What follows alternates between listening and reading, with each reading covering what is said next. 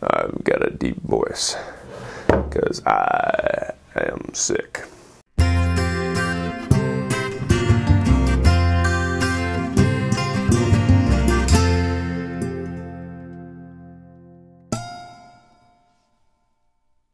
Hey y'all, I'm James Wright and welcome to my shop. Uh, this last week has been another fun one.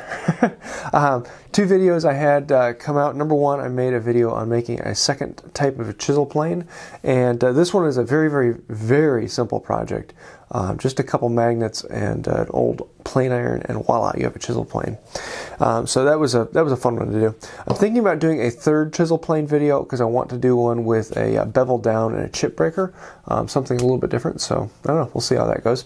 Uh, the second video was a shooting board, and uh, a shooting board is a very simple tool that uh, really everyone should should try. It is a, a, fantastic way of cleaning up the ends of boards, even for power tool people. If you want to clean up the saw marks on the end of a board, this is fantastic and uh, it's a great project. So for this next video, uh, the next week, I'm going to have two other videos. One of them is going to actually be making a, a bent compass. Um, in other words, let's say you want to make an arc written on, uh, drawn on a board, but you want to have like a 10 foot radius. Um, I mean, you're not going to get a compass out with this 10 foot beam to draw the circle. So, how do you actually make a stick bend and stay at that shape so it is very useful? So, we'll be uh, playing with that. And then the Saturday video will be this sucker. So, I'm putting a new leg vise on my bench, and this is the, the cherry chop that I made for it. And then I will also be using uh, this wooden screw from Acer Ferris. Um, this is just absolutely gorgeous, and I'm really looking forward to this video. It is fun. I, the uh, the screw, the retention ring is this large brass um, split ring. So yeah, it's gonna be a really really cool video. Now, if you guys could actually help me out with something, I have a question. Uh, these shop updates usually get about uh, 15, 1600 views, uh, which is great, but um, most of my videos are now getting between 4 and 6,000 views. So the lower views from these shop updates are actually dragging down uh, my YouTube performance. So I'm thinking about changing that up. And uh, so I have a couple options. Number one, I'm thinking about opening up a second channel, Wood by Wright 2. Um, I don't know.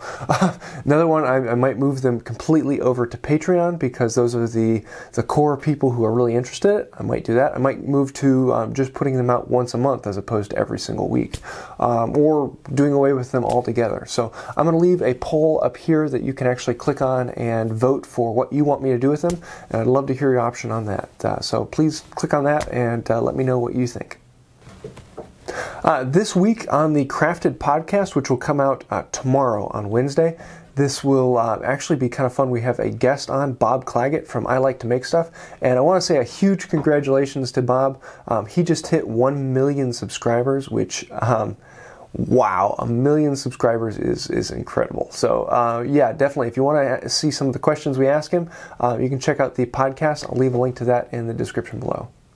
This summer, I'm going to be doing quite a bit of traveling, and I'm going to be uh, all over the Midwest and the East Coast. So there are going to be several opportunities for a meetup. Um, number one, in March, I'm going to be out in Virginia and Pennsylvania, and so I'm thinking about doing a, uh, a hangout in like the Lancaster or um, right on the coast, or possibly down in Virginia, maybe DC. Uh, so let me know if you're in that area. I might be able to do a, a meetup around that way. Also, I'm probably going to be down in Atlanta at the woodworking shows, um, and then I'm going to be in the Milwaukee woodworking shows. I'm going to be going to Handworks, which is out in Iowa. Um, I should be going to the Midwest Tool Collectors Association National Meetup. Uh, so a lot of great opportunities coming up, and really I would suggest going out and looking at what are the uh, conventions this year and uh, where are things going to be. There's a lot of great opportunities for learning and meeting people. So definitely look those up and let me know if you're going to be at any of those. This week's Patreon question of the week is from Travis Reese, and he asked, When is it best to cut off a piece as to planing down to it? And uh, so, like, you have a board and you need to take off a quarter inch. Um, is it quicker to take the saw and cut it off, or is it quicker to take the plane and plane down a quarter inch um, to the line? And uh, that really kind of depends on your skill and where you're at. Uh, for me, on an average board, if it's a quarter inch or more, I'm going to cut it. Um, if it's a quarter inch or less, I'm going to plane it. So that's kind of where I draw the line. Uh, but the other question is, do you want to save that material? Sometimes those thin strips of 8 8 inch or so um, are actually kind of valuable. Have a, a, flexible stick that might be usable for inlay, uh, especially if it's any valuable wood that is uh, useful for that type of thing. So that's kind of where I draw the line is about a quarter inch. At that point, I can take a plane and I can plane it down just as fast as I can cut it.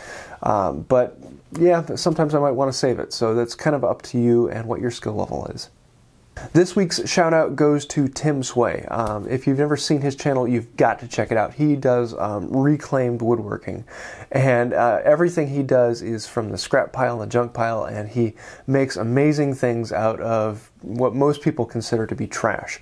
Uh, and it's a great way of re-looking at the world and seeing what's going on. So definitely check out his channel. Uh, he just made this oak chest that is fantastic. A really, really beautiful job and uh, a cool way of doing the joinery on it. So that is really cool. Uh, the other thing is that all of the music you hear on this channel from the intro um, to the uh, the clips that are running through some of the build videos, um, at least for the last several months, um, have actually been written and composed by Tim Sway. So he's the one who actually does the music for this. And if you're ever looking for specific music, um, he does um, music and uh, does a really, really fantastic job of it. So uh, he just created two more soundtracks that I'll be adding to some of these uh, videos. So yeah, a lot of fun.